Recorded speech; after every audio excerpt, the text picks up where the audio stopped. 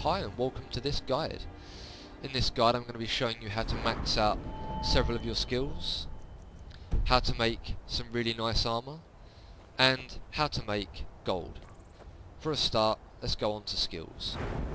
There's lots of different guides about how to max out certain skills easily. Well, I'll just go through a few. For one block, I'm not even going to bother showing you, get a shield, just find some mob that doesn't hurt you, and block its attacks for a couple hours. There you go, level 100 block, nice and easy. Next, smithing.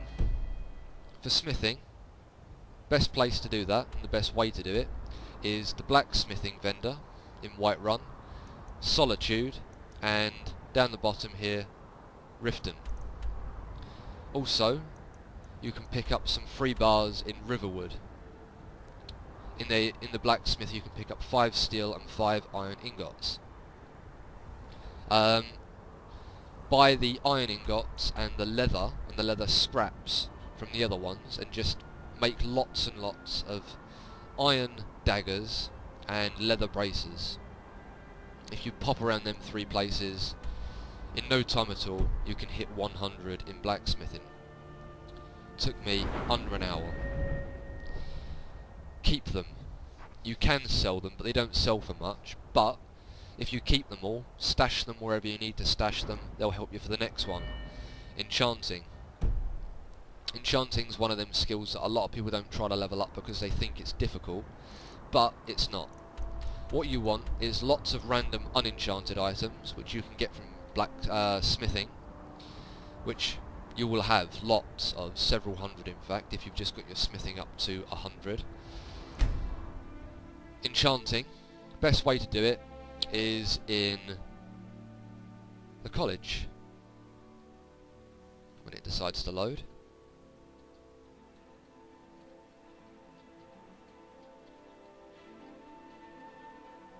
Do do do do do do.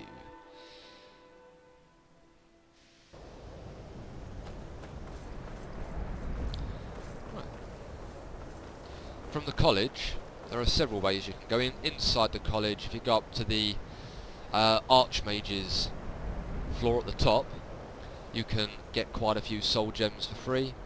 And on the left side and the right sides, you've got these two doors. They both lead to a very similar layout. I'll go through this side. Um, you enter into a room with all the dormitories, or bedrooms, whatever you want to call them soul gems. They respawn every so often. Also, the guys that are sleeping here, or they might be walking around depending on the time of the day, they actually sell tons of soul gems uh, fairly cheap. You can buy the petty ones, common ones, whatever you like. They, they all give you the exact same XP when you craft items. But yeah, loads of soul gems, and there's two floors to each of the areas. If you go up to the second floor, there's more soul gems, just have a look round. When you've got them, wait for a few days if you want, they'll respawn, or you can just buy more off of the vendors if you've got the cash already.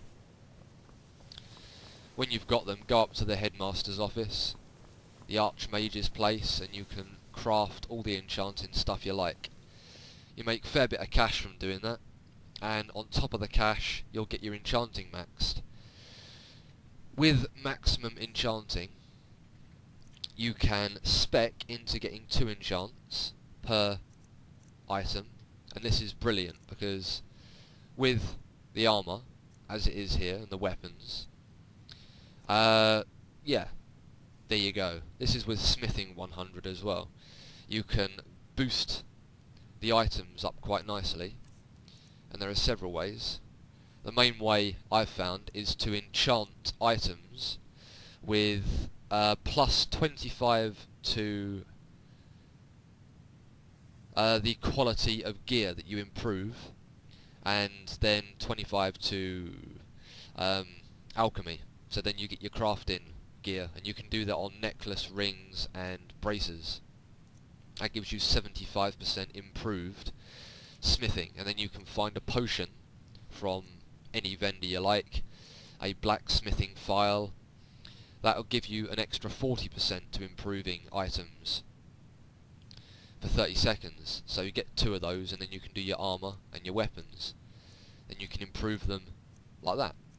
And as for the armour, there it is. Gives me lots and lots of uh, attack and armour. This is dragon armour, and the ring and necklace, they're just random cheap things that I've stuck the top enchants on.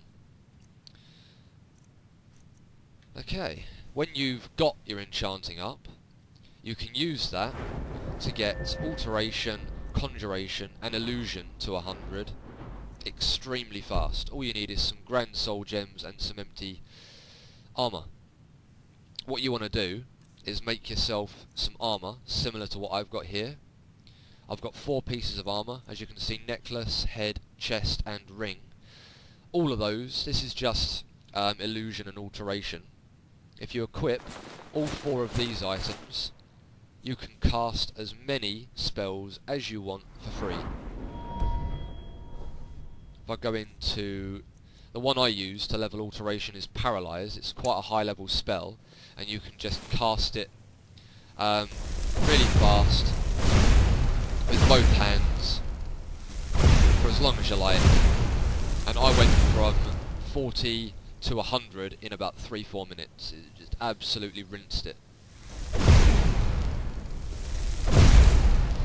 Um, illusion, you want the muffle spell, and the uh, conjuration spell. If you get soul, uh, soul tap, soul drain, whatever it's called, find a random monster that's not going to hurt you, and just stand there spamming it constantly you'll get it up in no time, or you can even kill the monster and then just cast it on a dead corpse. You know, what's easier than that? 100 in those three. So that are tips on how to get all of them skills to 100. As for one-handed, light armour, and the rest, you're pretty much on your own. A good tip for pickpocketing and uh, sneak and lockpicking is when you get your enchanting up, you can stick those on armour, and you can pretty much be immune to being detected while lockpicking and sneaking. It's a brilliant way of upgrading those to 100. I've not yet bothered because I'm getting quite close to finish them off now. Personal pride and all that. And cash. Well, I'm, I'm sure there's a few guides out there, but the best ways to get the cash is the Thieves Guild and the Dark Brotherhood. If you don't know how to join those, just find a guide, join them, do the quests. The Dark Brotherhood, you get 20,000 gold for finishing it, plus you get 7 or 800 gold for every contract you complete. And the Thieves Guild, um, you just get loads of cash from stealing. Plus, uh, you get, when you finish the Thieves Guild, um, the fence in the Thieves Guild, I can't think of her name, Tamelia. Uh, she has 4,000 gold, um, which resets every two days or so. And she'll just buy everything off of you. So, yeah, brilliant. Get that one sorted. Here's a little overview of what areas I've discovered in my time of playing. Um, if you're like stuck for finding certain areas, just have a little look. There's a few dragon shrines there, different camps, different dungeons, stone locations. I hope this has helped. And good luck at making yourself some nice stuff. If you're willing to put in the time and effort to make stuff like this, it's uh, not that difficult. Thanks for watching and good luck at creating your armor. Peace.